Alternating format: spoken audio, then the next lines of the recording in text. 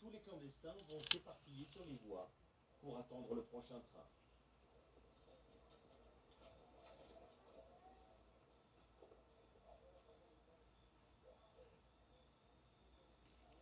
Tiene confianza, tu réalises à quel point ce voyage va être difficile. non Oui, C'est- oui, c'est dur. Ça va être un voyage très dur.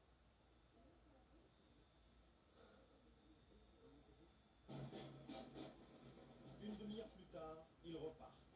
Ils ont dû grimper sur ce train en marche. Le groupe n'a trouvé de la place qu'entre deux wagons.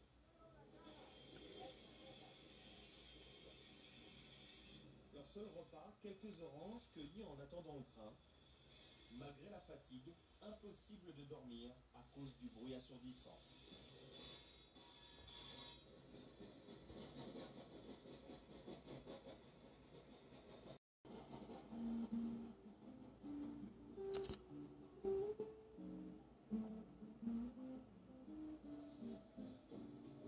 Jaime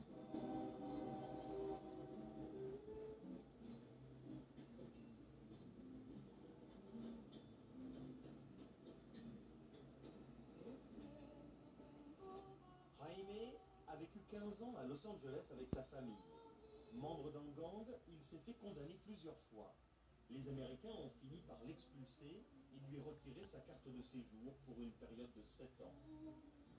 De retour au Salvador, sa rencontre avec Lupita l'a transformé. Une forme de rédemption, il l'a Lupita, je l'ai connue dans le village de Las Lajas.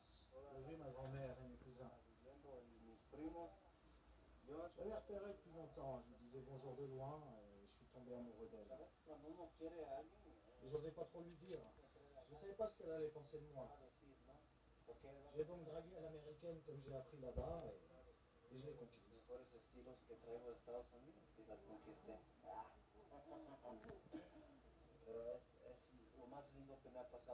C'est vraiment la plus belle chose qui me soit arrivée dans ma vie. Je ne veux pas la décevoir et je vais tout faire pour qu'on atteigne les États-Unis. Et en plus, si on peut, on essaiera d'aider sa famille.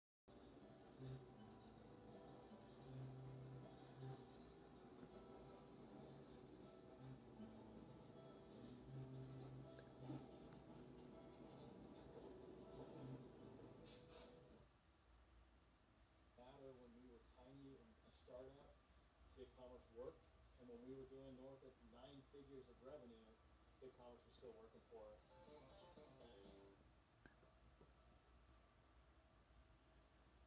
Arrivé à Tierra Jaime veut poursuivre la route le plus vite possible. Le reste de la bande espérait souffler un peu, surtout Lupita qui est épuisée.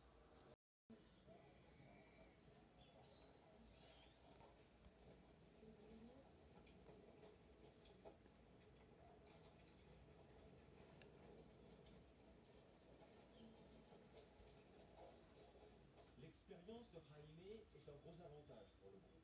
Il sait qu'il faut aller